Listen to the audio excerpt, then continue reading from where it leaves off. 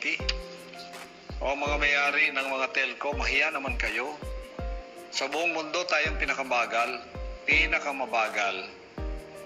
Tapos ang laki-laki pa ng sigil nyo. Yung bansang Ukraine lang, ang wifi libre. Walang bayad. Ang bilis pa. Mayaman pa tayo sa Ukraine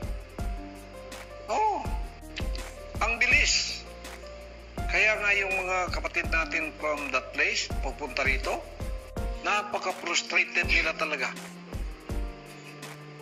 Mabagal kayo. Ipa-stop na siguro natin yung mga telco nyo.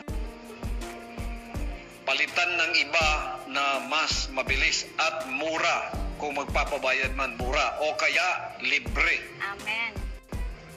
Oh, dalangin ko yan ha.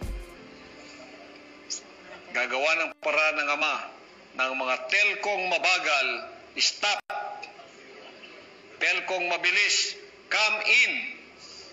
There's a Father. Kung may bayad man, konti lang o kaya libre na. Dadalangin natin yan.